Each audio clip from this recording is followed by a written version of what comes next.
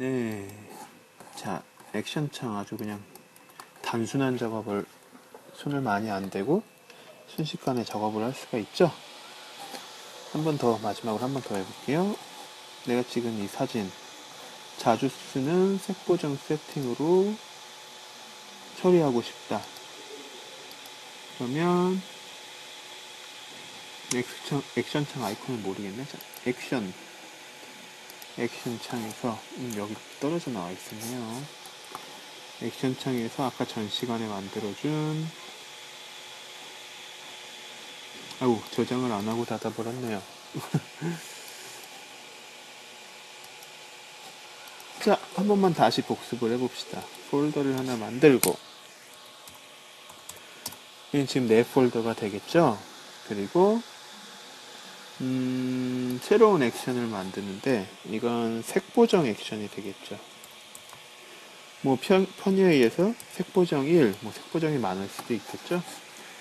어, 나는 보통 색보정을 일단은 복사를 하는 것부터 시작하고 그렇죠? 복 미안합니다. 아이고 미안합니다. 복사를 하는 것부터 시작하고 그럼 복사한 거 duplicate current layer 나왔죠.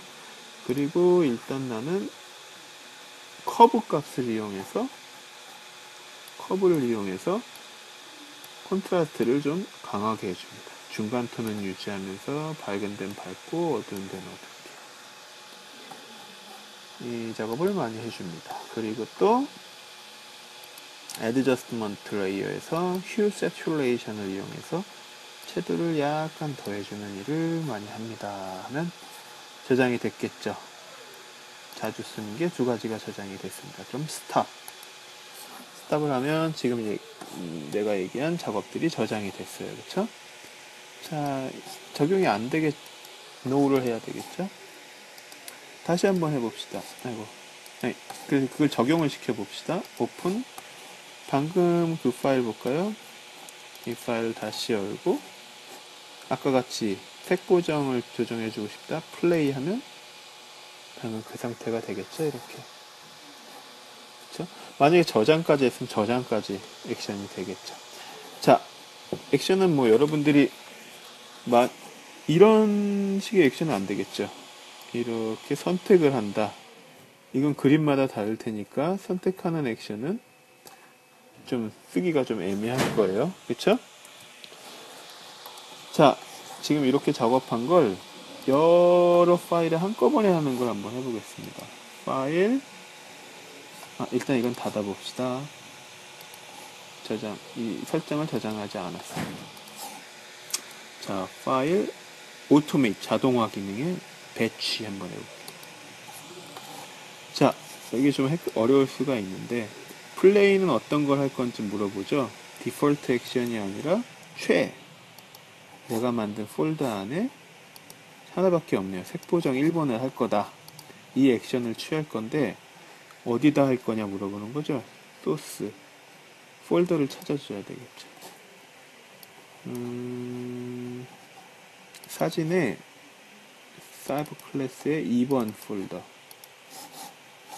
자, 볼까요? 그게 뭐냐면 모아놨어요 일부러 사진에 사이버 클래스의 2번 폴더에 색보정을 하고 싶은 파일들을 넣어놨어요.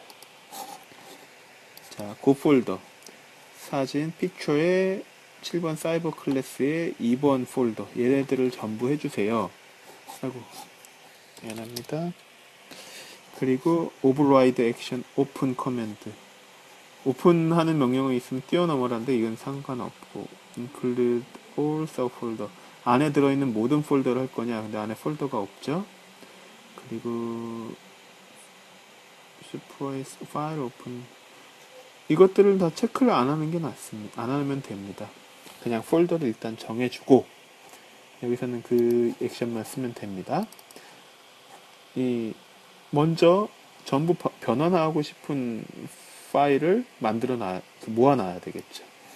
자, 이번 파일에 있는 모든 것을 최라는 폴더 안에 있는 색보정이라는 액션을 적용을 시키는데 destination 이 적용시킨 걸 어떻게 할 거냐는 거죠.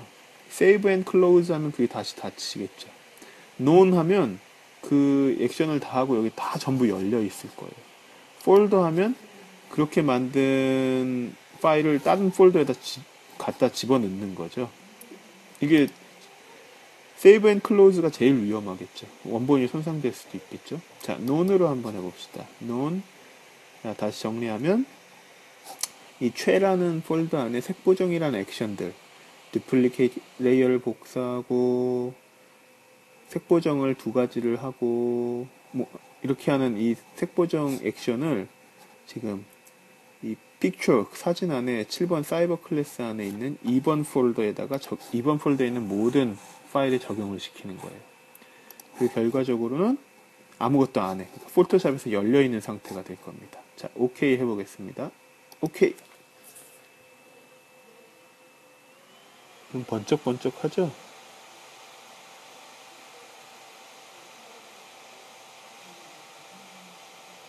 지금 아무것도 손대고 있는 게 아닙니다. 자기가 내가 저 지정해준 그 색보정의를 하는 거죠. 자, 한번 arrange를 바꿔봅시다. window arrange 픽스 어브레스. 자, 어때? 색 보정이 바뀐 게 드러나나요? 자, 예를 들면 이, 이 파일 한번 봅시다. layer를 보면 이렇게 저장이 됐죠. 원래는 이 이미지를 이렇게 일괄적으로 색 보정을 한 거죠. 그쵸? 음, 뭐 이 파일을 예를 들었으니까 이 파일 한번 다시 볼까요? 이 파일도 원래 파일은 이 형태겠죠?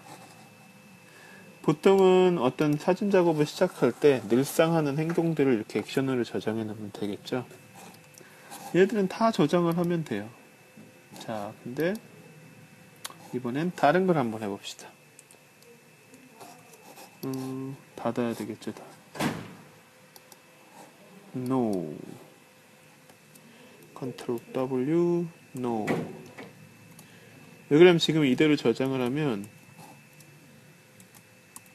그렇죠. 보정이 된 상태가 저장이 되겠죠? 지금 보정하는 걸 계속 실험하는 거니까, 보정을 하지 않고 그냥 저장을 해 볼게요. 자, 다 지웠습니다. 이번에는 얘기한 이 폴더 말고, 이 폴더 말고, 3번 폴더를 한번 만들어 볼게요. 003. 그리고,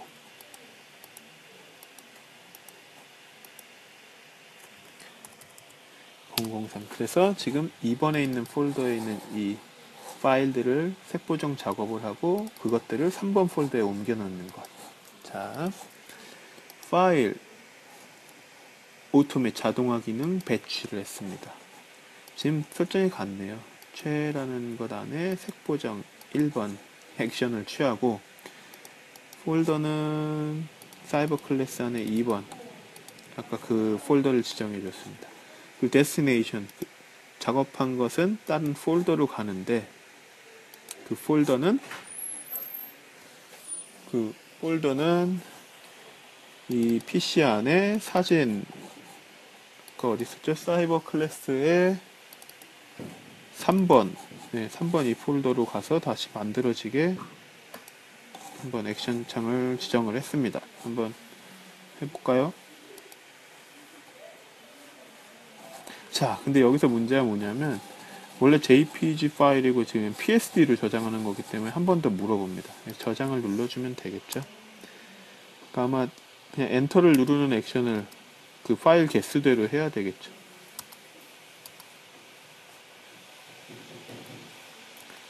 그럼 아까처럼 열려 있는 상태가 아니라 지금 만들어준 폴더에 들어가는 게 되겠죠, 얘네들이.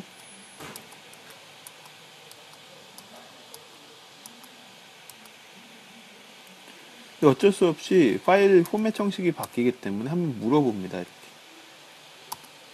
PSD로 저장을 하는 거죠, 지금. 색 보정을 하고 PSD로 저장하고. 자, 한번 파일을 확인해 볼까요? 자, 3번에 지금 작업한 PSD들이 있고, 2번은 원본 그대로가 있습니다. 이거 가장 이상적인 형태가 되겠죠?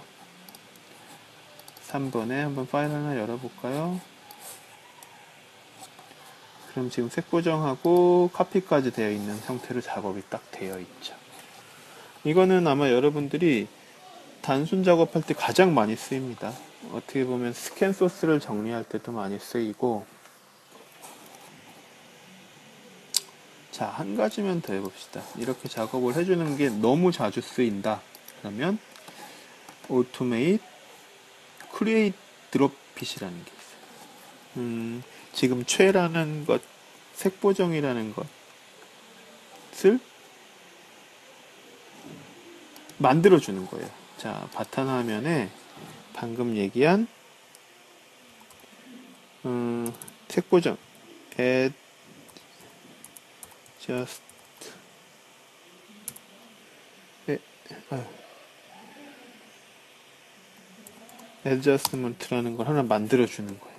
지금 최라는 색 보정 이것을 그 데스티네이션은 없어. 오케이 하면 한번 볼까요? 여기 adjustment라는 이상한 형태가 생겼어요. 그쵸?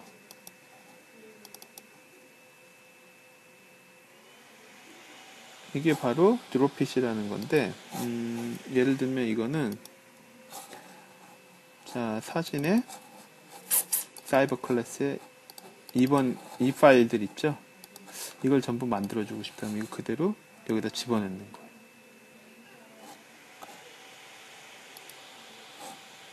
그러면 그 폴더에 있는 걸 다 그대로 이렇게 작업을 하는 거죠. 자동으로 파일, 파일이 열리고. 그쵸? 물론 열려 있는 상태가 되겠죠 결과적으로. 자 이건 그런 자동화 기능을 그냥 간단하게 해주는 겁니다. 예를 들면 다른 것도 가능하겠죠? 음, 예를 들면 코알라 코알라도 여기다 집어넣으면 이 작업을 하겠죠 너무 자주 쓰는 건 이렇게 아이콘 형식으로 만들어서 쓸 수도 있습니다. 네, 여기까지 포토샵 작업들을 이것저것 해봤는데요. 이건 아주 사실 포토샵의 빙산의 일각이에요. 그리고 여러분들이 가장 많이 쓴다는 것 거의 한 포토샵의 20% 정도를 보여준 겁니다. 근데 이게 기본이 돼서 여러분들 실력을 차곡차곡 늘려 나가야 되겠죠. 쓰면 쓸수록 재밌는 기능이 많은 프로그램이고 여러분들이 나중에 뭐 코믹 스튜디오나 뭐, 뭐 따, Painter 다른 거 작업할 때도 Photoshop은 언제든 쓰이게 마련입니다. 그리고 Photoshop이라는 프로그램을 어느 정도 잘 하게 되면 다른 프로그램들은 좀 더 습득 능력이 빨라지겠죠. 그러니까 Photoshop은 오늘 여기서 끝을 내긴 하지만 여러분들이 계속 더 공부하길 바라고 그리고 또 여기 선생님 언제든지 이 강의실에 있으니까 의문 나는 점 있으면 물어보고 지금 우리가 과제 올리고 운영하는 카페에 언제든지 question, 뭐 질문을 올려주세요. 자, 너무 수고했습니다. Photoshop은 너무 수, 수고했고 다음 차시는 Painter에 대해서 간략하게 소개를 하도록 하겠습니다. 이 방금 얘기한 automate, 이 자동화 기능에 대해서 좀 헷갈릴 수 있을 거예요. 지금 이 수업을 뭐 헷갈리는 부분이 있으면 다시 한번 반복해서 보길 바랍니다.